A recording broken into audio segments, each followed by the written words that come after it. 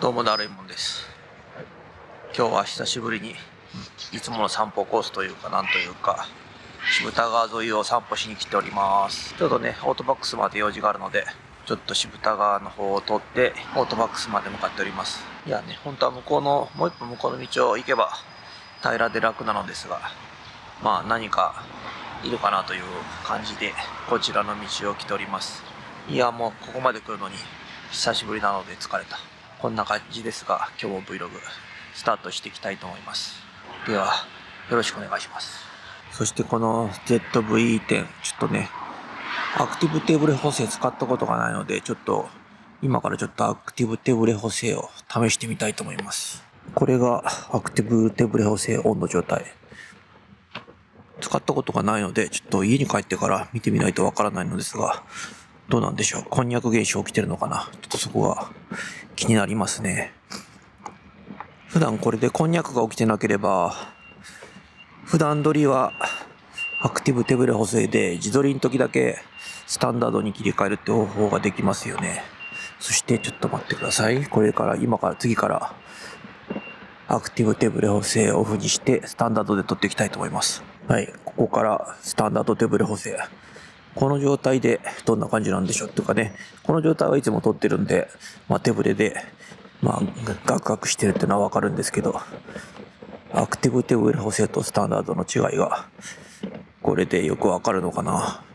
自分的には多分帰ってわかると思うんですけどね、どんな感じなんでしょう。うん、スタンダード、まあ、手ブレ、手ブレなんか入ってても、ね、気にしないで撮っちゃってるんですけどね、どうなんだろう。まあ見る人は手ぶれがない方がいいのかもしれませんが、まあ手ぶれは手ぶれで私の動画はありということでやっていきたいと思います。久しぶりにカワセミを見ました。あそこのこのちょうど真ん中のところの石の上にいますね。でも55ミリじゃ多分見えてんのかな？どうなのかな？これ iPhone で撮ったらすごくよく撮れるような気がする。あ、カワセミ。向こうにもいた。今、カワセミがスライドしてきましたね。ちょっと iPhone で撮ろう。あ、行っちゃった。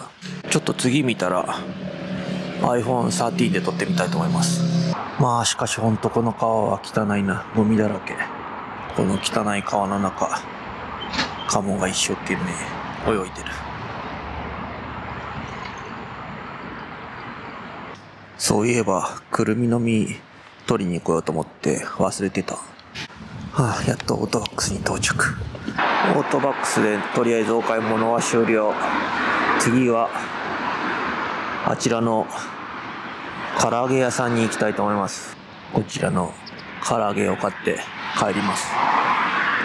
そうなんですよね。今月ラーメン屋オープンなんですよね。あの看板もやってるように見えますからね。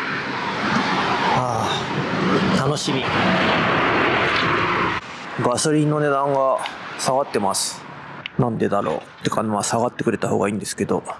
1円下がってる。なんか唐揚げいろんなメニューありますね。なんかこのたまり醤油塩の手羽だれこれがいいかな。手羽先もうまそうだしこの辛いのもうまそうだな。辛いのも食べたい。でこれ5本入りとこれ2個にただいま唐揚げ屋さんの外にいるのですがあそこに換気扇があってそこからすごいいい匂いがしてきます。お腹空いてきますねこれ。うわ腹減った。もういい匂い。そしてご覧の通りこの上り旗がねパタパタパタパタ結構してて風も強いんですけどこれ音声具合どうなの？